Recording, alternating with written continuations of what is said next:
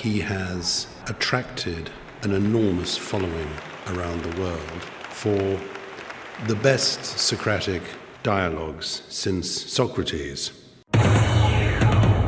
He's a philosopher with the global profile of a rock star. He's a Harvard professor who doesn't just lecture in halls, but in stadiums.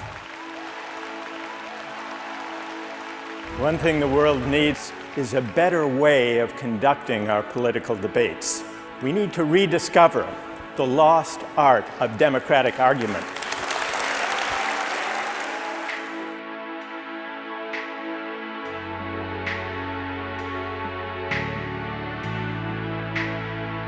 Tonight, we have begun that debate. Even where we had strong disagreements, people were listening to one another. This gives me hope that we can elevate the terms of public discourse. Too often, political parties and politicians, it seems, don't really address the questions that matter most about justice and the common good, the role of markets, and what it means to be a citizen.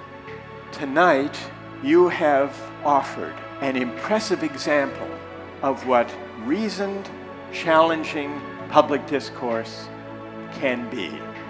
If that's true, then we here together will have made a beginning toward renewing democratic citizenship itself.